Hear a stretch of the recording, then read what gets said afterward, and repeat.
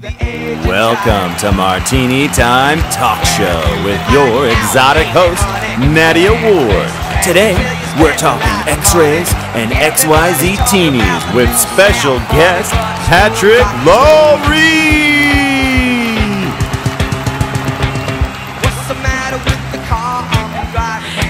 Everybody. Welcome to Martini Time Talk Show. I'm your host, Nadeya Ward, and today I have a really great guest with us. He is an actor and writer. This is Patrick Lawrie. Hello. Cheers. Cheers. Uh, Patrick, tell me a little about yourself. Tell me what you're working on. Uh, I had a movie come out earlier in the year, uh, VHS 3. Uh, I was in the movie theaters. Uh, Oh, cool. What is it? What do you do in it? Uh, it's a horror movie. It's kind of chasing my girlfriend around. She gets a little bit possessed, so it gets pretty. It gets pretty messy. Do you have a girlfriend in real life?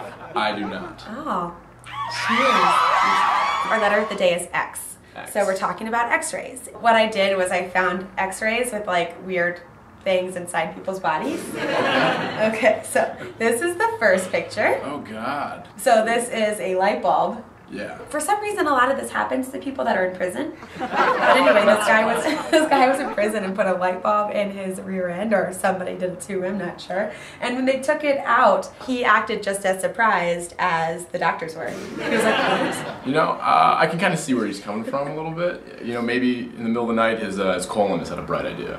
You know. You never know. This one I think makes a little more, bit more sense, especially for a prisoner, but it's still crazy. That's his cell phone. Oh. A, that could not have been fun, but B, I kind of understand where he's coming from. Yeah, you know? don't want to be in contact with people. Right, and But B, where's the charger? Like, how long can you really use this phone for? Right, for? but I mean, if you're in prison, I mean, even 20 minutes playing Snake, I assume that's why he got the phone in there to play Snake. Um, also, let's check in with Rob and the freaks and see what we're drinking today. Rob?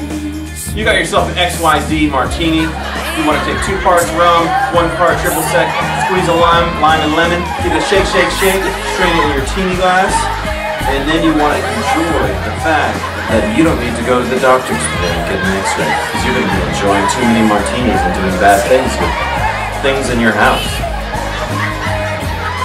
Mm. You can't even really taste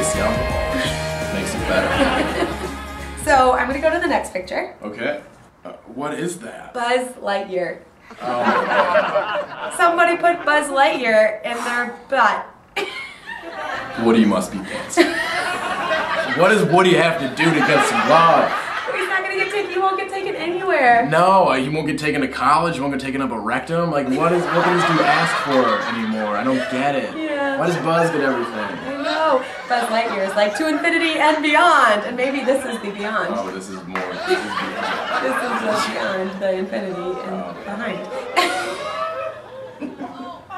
um, everybody, thank you so much for coming to Martini Town. We have a single handsome guy here today, Patrick.